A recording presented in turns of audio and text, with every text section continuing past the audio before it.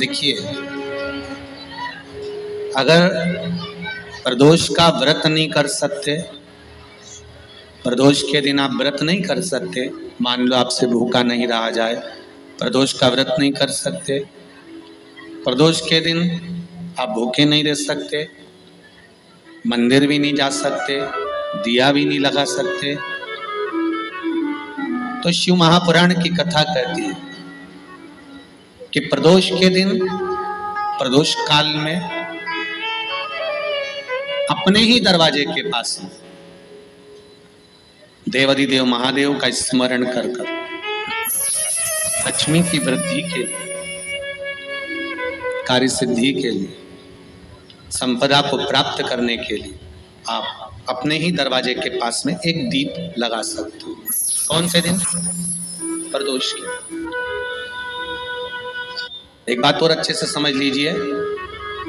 जो बच्चे चिड़चिड़े होते हैं, चाहे घर में बेटे हों, बहुएँ हों, सास हो, ससुर हो, परिवार में छोटे छोटे बच्चे हों, चिड़चिड़ प्रवृत्ति करते हों, या चिड़चिड़ा स्वभाव हो जरा जरा सी बात में क्रोध आ जाता हो, बोलने का भान नहीं रह पाता हो, शब्दों के बाण चलते हो तो महाराज, प्रदोष के दिन, प्रदोष काल में बेलपत्री के पेड़ के नीचे एक, जो पत्ता आपके पास में हो, पान का मिल जाए तो पान का, पीपल का मिल जाए तो पीपल का, बेलपत्र का मिल जाए तो बेलपत्र का, उस पत्ते पर मात्र पत्ते पर मात्र थोड़ा सा शहद और सात दाने चावल के रख कर घी का दिया लगा दो महाराज, और थोड़ा सा जल हाथ की अंजलि में लेकर भगवान देवादिदेव महादेव का स्मरण कर कर कि इस बेलपत्री के वृक्ष के नीचे माता लक्ष्मी, पार्वती, सरस्वती विराजमान है। इसी बेलपत्री के पेड़ के नीचे मेरे देवादिदेव महादेव का बारह ज्योतिर्लिंग का स्वरूप प्रकट है।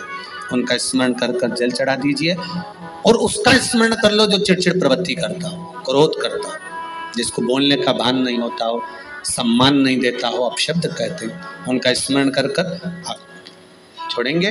एकदम, एक प्रदोष करेंगे, दूसरे प्रदोष तक तो आपको कोई दिक्कत ही नहीं। दो तीन प्रदोष कर कर देखिए। बाबा कृपा करें।